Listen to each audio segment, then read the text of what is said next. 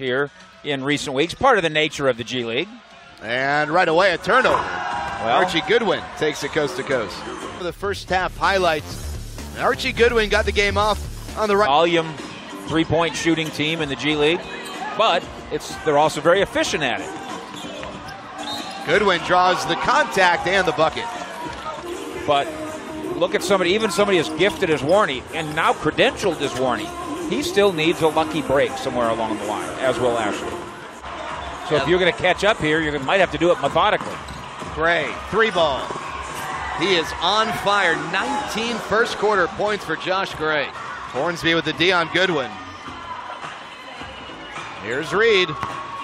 And he is left all alone. Well, five on four on offense. and his stock dropped a little bit, ended up getting picked in the second round. And here's Studeville into the game for the first time. Goodwin to the hoop. Archie Goodwin with nine points for the Suns, and they lead by 16. The tie bar. There's Goodwin.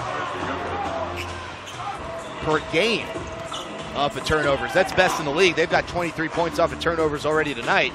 And looking to make it 25, and they do. Well, that Gray is a troublemaker. It- the way he moves his feet is it, it tricks you. Motley can't finish the slam. Credit Goodwin for applying a little bit of pressure, perhaps. He may have even yeah tipped the ball away a little. Other side. Jalen Jones is 24 minutes leading the way for the Legends. Goodwin with a three ball. That one spins in. Then an assist, all at the same play.